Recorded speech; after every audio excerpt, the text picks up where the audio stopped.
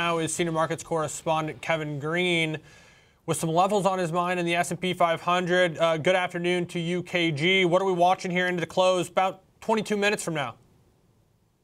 Yeah, I mean, the market has been pretty much uh, very slow uh, for the entire day here, but we continue to melt up. Looking at an area of resistance right now of around 60, 50. Uh, earlier this morning, we kind of highlighted 60, 60 was also on the radar for those that were actually selling calls early on. That could be an area where we do melt uh, up to if we're able to kind of break through this current wall that we're at with 60, 50, which is a considerable amount of size when you're looking at the amount of volume as well as open interest there, uh, and not a lot of catalyst going into the close here. But we have been able able to once again kind of manage uh, for now. Now, the mega cap names have been uh, the strong leaders for today, while market breadth itself has actually been fairly weak.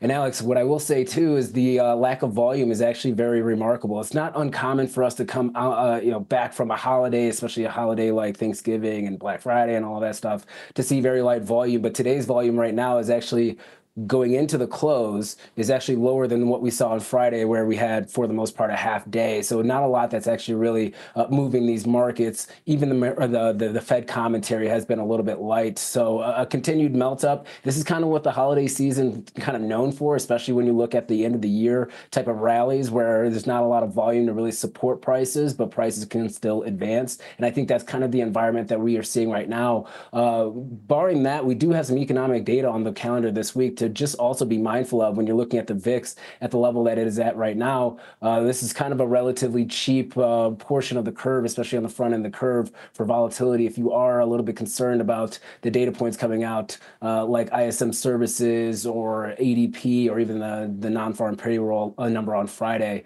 uh, once again, um, IV and, and, and hedging is, is actually relatively cheap right now.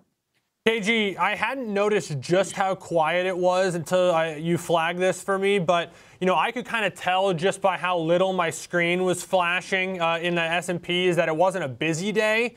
But for context for the viewers, one thing that I do, and I know you have uh, that, that chart up there, but one thing I look at just for a quick back of the envelope, doesn't take much time to get an idea of how, how much action's in a day. I just look at uh, ES volume, so S&P 500 E-minis volume. The average for one month is around 1.4 million contracts a day. We're just over 750,000 here, including the Sunday open as well. I mean, not only is this quiet, I mean, this is about as quiet as it gets in this particular marketplace. So, kind of tying this into how you're watching these levels and you look at these big kind of gamma points and dealer positioning points. Is it more, or, or I guess, uh, in your mind, likely then that you could see a pin to one of these levels in a thinner, quieter market just because it doesn't take much to push this thing around?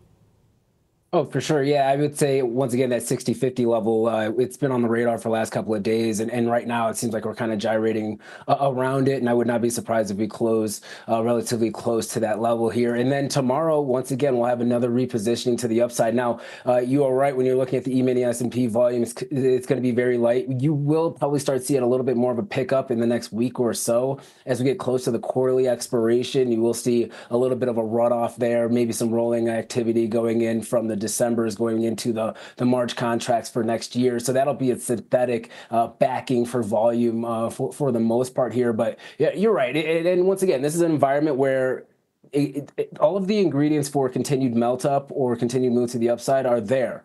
Uh, other side of the coin is, is that everybody's on the on one side of the boat, right? There, it doesn't really take much to shake the market too. So if we do have a, a pretty decent or big news event uh, that's bearish, you could also push prices very violently to the downside. We just don't have that environment right now, but it's something that we should be uh, mindful of because the first two weeks of uh, December are generally uh, choppy markets uh, for the most part, just like we're seeing right now. and then the latter half, the last two weeks of the year, is really where we get that nice price advance, that Santa Claus rally that leads into the 1st of January. I'm going to chalk this up as a little turkey hangover, maybe some sluggishness on a Monday. I would be shocked if volumes didn't pick up as this week rolls on with uh, some earnings and all the jobs data, Jerome Powell speaking uh, as the week rolls on. But if it stays as quiet as it is now on Friday morning, expect some action perhaps around that jobs data in a, in a thin market, but we'll see. Uh, like I said, I don't anticipate that. Kevin Green, appreciate it.